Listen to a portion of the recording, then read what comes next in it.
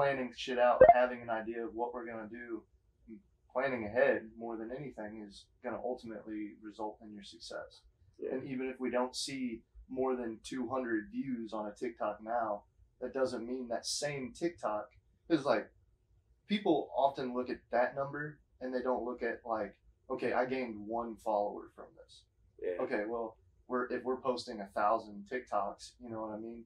You're gonna gain a thousand followers. Say you post one of those videos that like didn't get much traction in the beginning, you can repost that shit. People don't really realize that you can repost Yeah. the same shit that you posted and it can go viral when it didn't go viral.